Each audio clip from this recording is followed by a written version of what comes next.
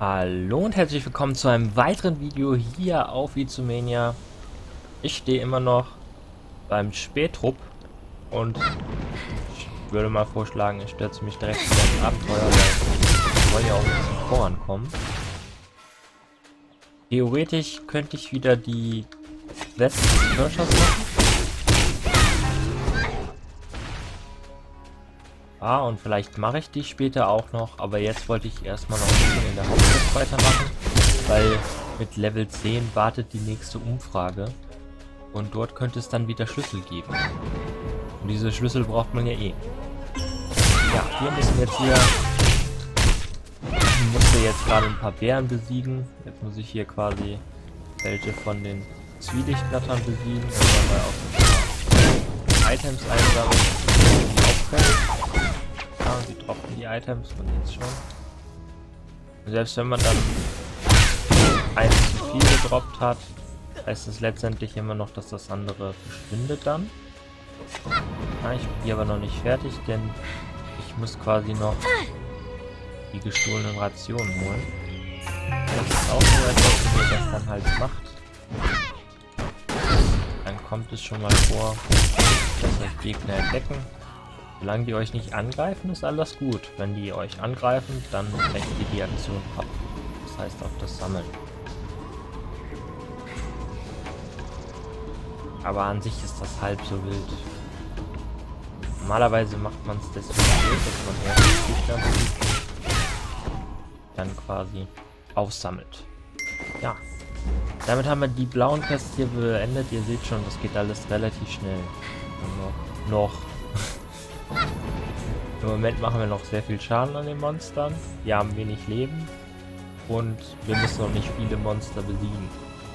Ist ja immer so ein MMORPG. Am Anfang geht alles ratzfatz, man levelt schnell und dann irgendwann kommt dann der Break, wo es dann immer langsamer wird. Problembären haben wir ausgeschaltet. So, die Quest haben wir abgeschlossen. Man könnte jetzt quasi da hochgehen, dort rein. Mache ich jetzt nicht. Auch wenn ich noch nicht Level 10 bin. Ähm, ich mache jetzt schnell die Persia Quest. Persia Yangshi.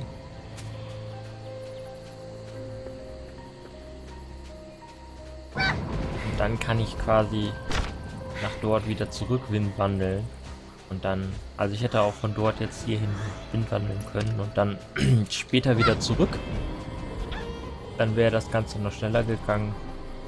Ah, eine oder andere wird sagen, ah, das kostet doch Bronze und du hast gar nicht so viel. Ja, stimmt. Aber es geht halt schneller. Dr. Yangshi und Mr. Hyde.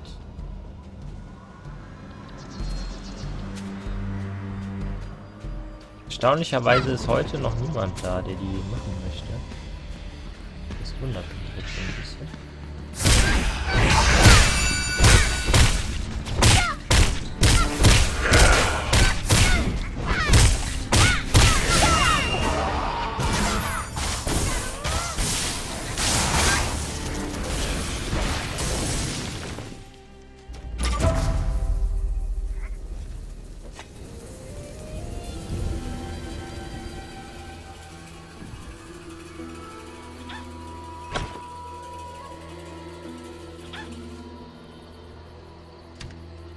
Ja, was denn?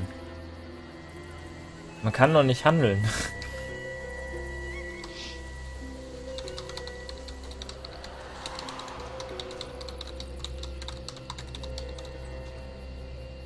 Man muss nämlich in Blade and Soul eine bestimmte Stufe erreicht haben, um handeln zu können.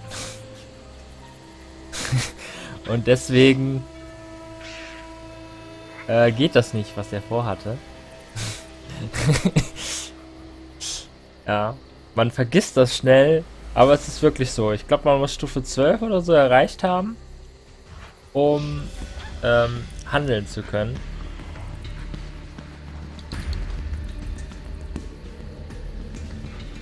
Und er möchte mir jetzt quasi die Dinger verpassen. Hat aber jetzt quasi, äh, ja, das Problem gehabt, dass er sie mir nicht rüberhandeln kann. Ja, ja.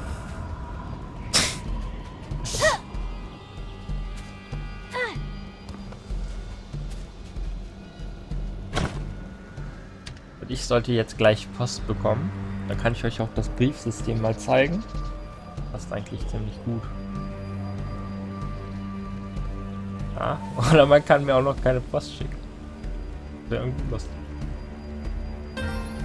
Aber das sollte an sich gehen. So, das Stempelbrett kann wieder benutzt werden, dann mache ich das eben.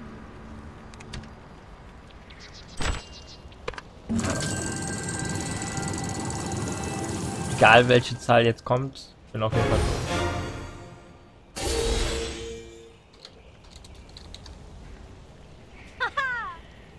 So. Wenn man Post erhalten möchte, dann geht man hier auf Post und dann kann man sich die Gegenstände einfach nehmen.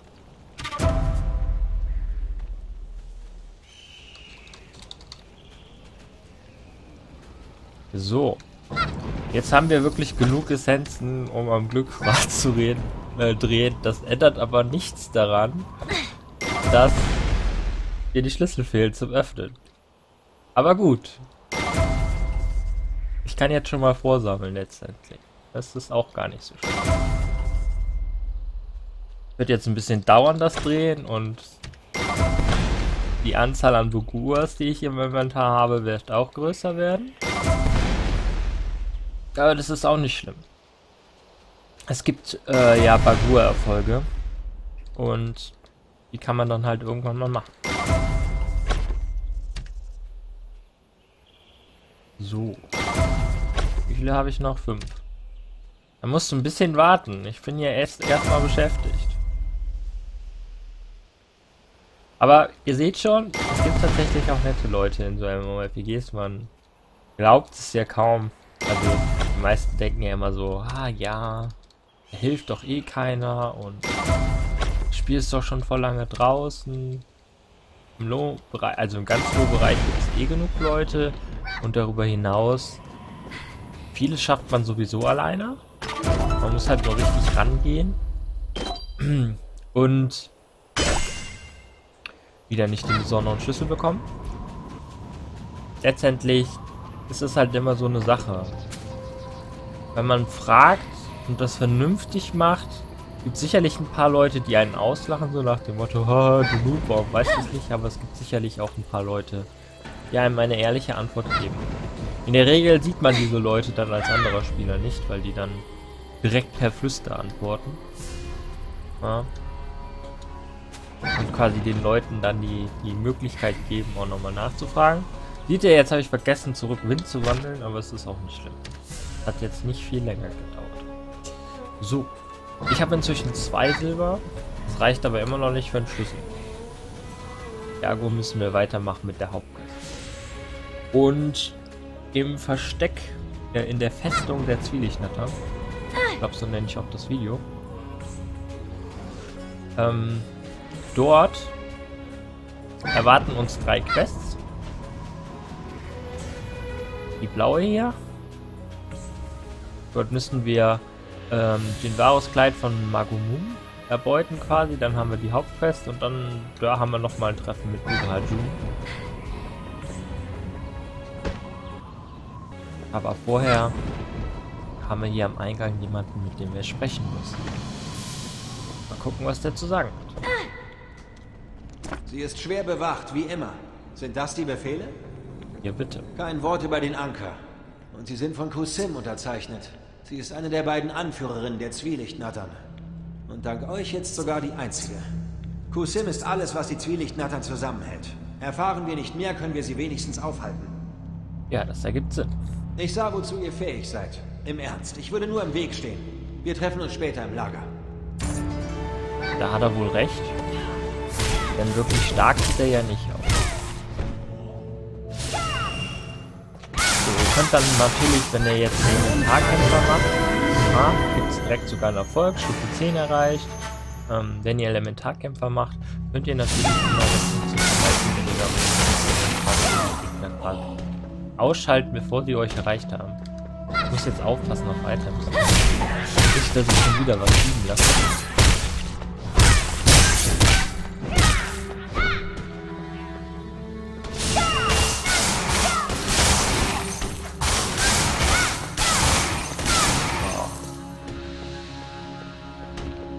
Ah, um die Umfrage kümmere ich mich gleich. Zuerst mache ich die. Ihr müsst die Voraussetzungen erfüllen, diesen Gegenstand benutzen Also wer sich jetzt Sorgen macht, so nach dem Motto, ah, die Waffe, Kirsch hast du immer noch nicht und kommst ja nicht weiter, direkt danach geht's weiter, halt. Also nach dem Kirsch hatte ich erstmal lange Zeit keine neue Waffe, die man braucht. Und dann mit Stufe, ich glaube 20 ist das ungefähr. Ah, wir haben das Kleid bekommen. Das verschwindet auch direkt aus dem Inventar. Das ist ganz, ganz nett. Versucht es später noch einmal.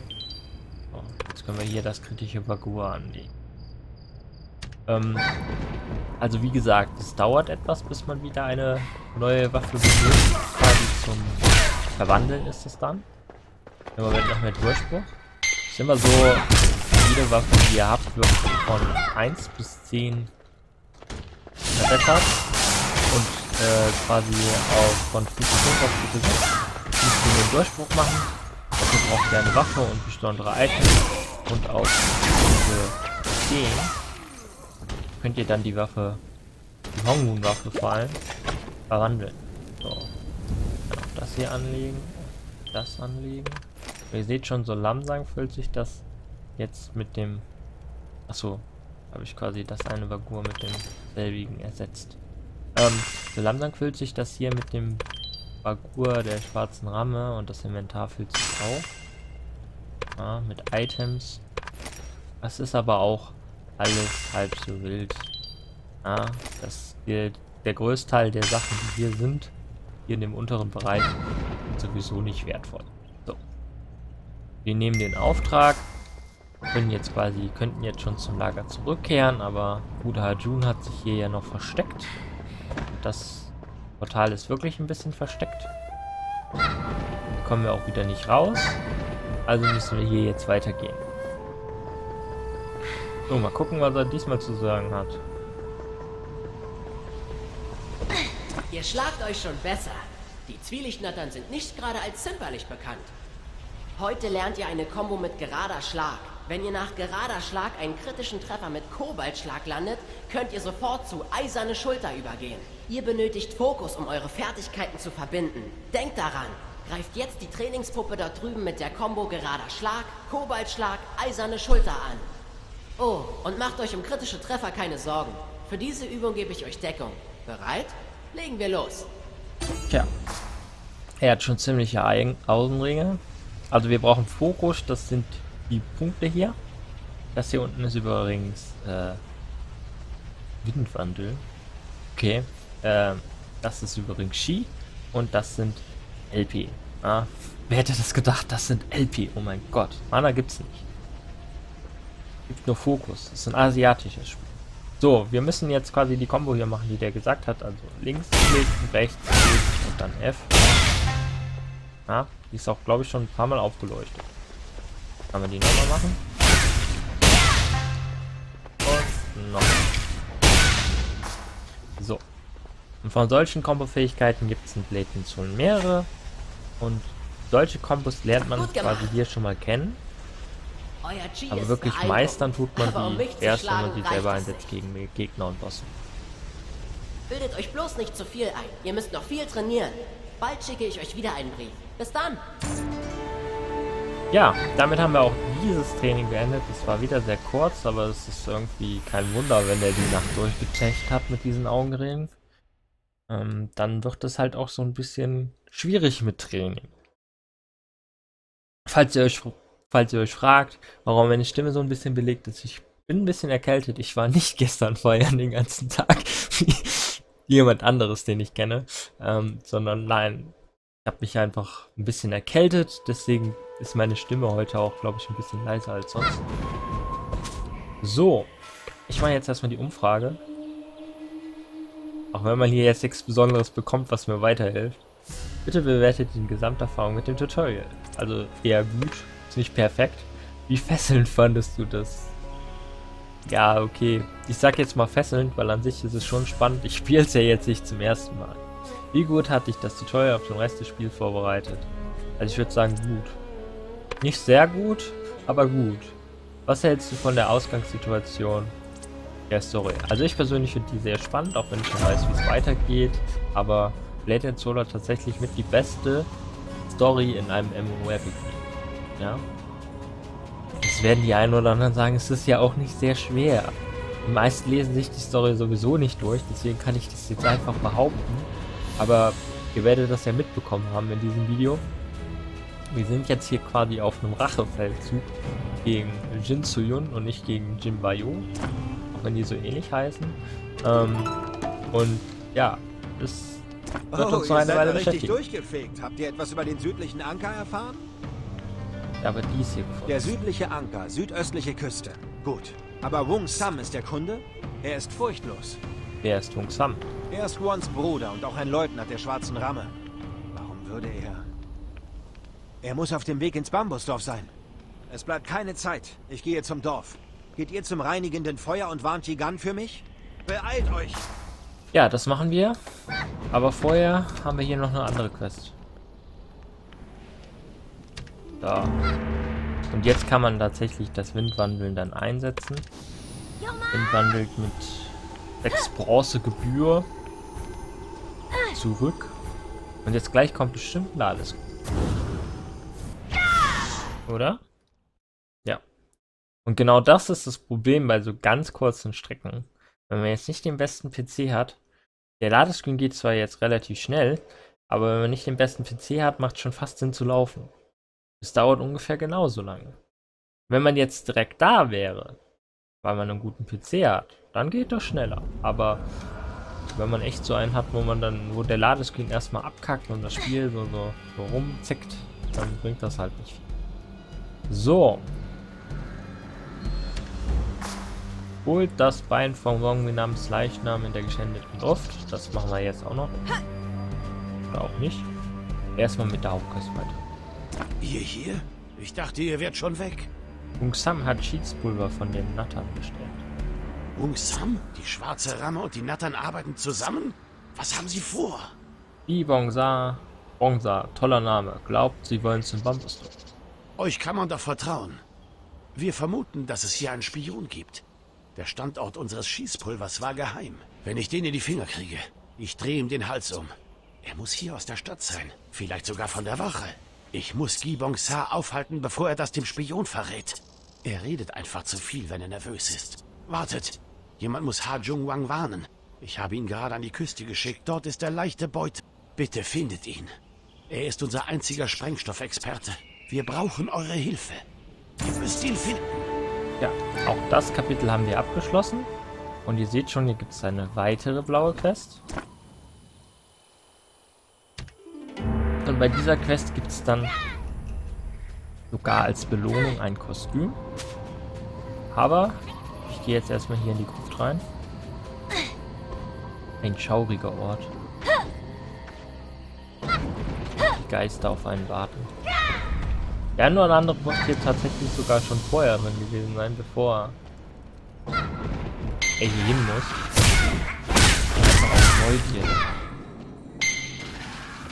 So. Feind des Leichnams.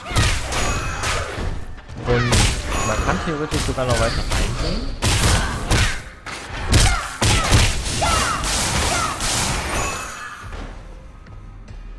Seht ja, das geht noch weiter. Ich habe keine Quest dafür. Doch, hab ich. Besiegt Mikuro in der geschändeten Gruft. Genau. So. Was machen wir?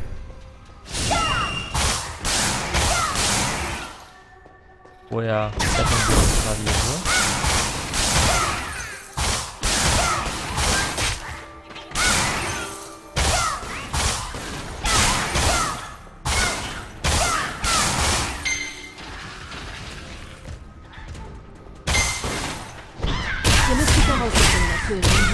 Benutzt. Oh, da habt ihr gerade gesehen, da war die Kombo-Fähigkeit, die man einsetzen konnte, aber das Vieh war zu schnell tot, um sie wirklich Links, rechts. Ja, das ist kein Fokus. So ein Mist aber auch.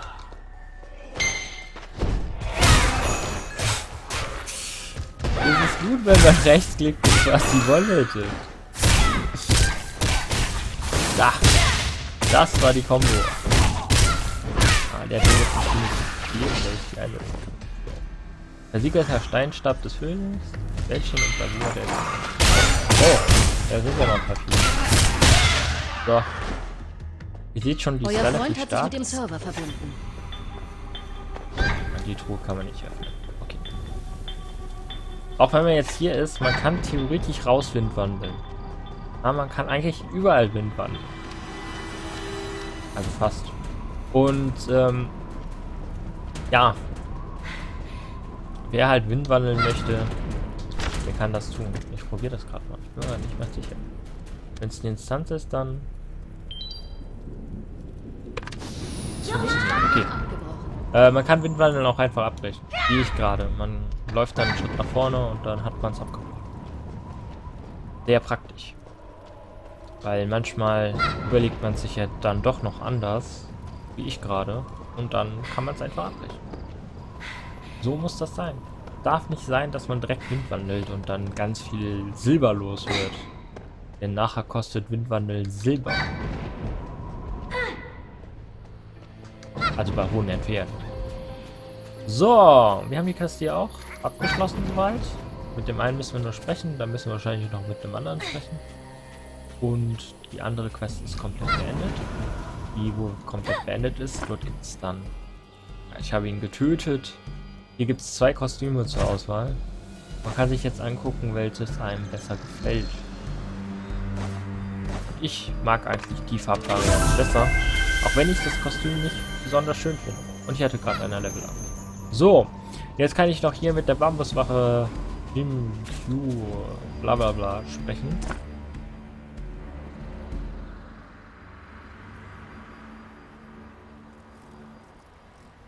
Was ist geschehen? So. Beschwört Jungen in ihrem Grab auf dem Mondschatten. Ja, jetzt müssen wir noch Geister beschweren. Warum?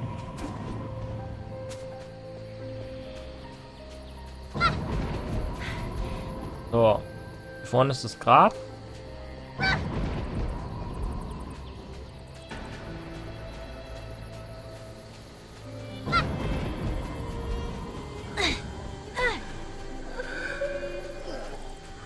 Wir sie quasi beschwören. So. Uhu.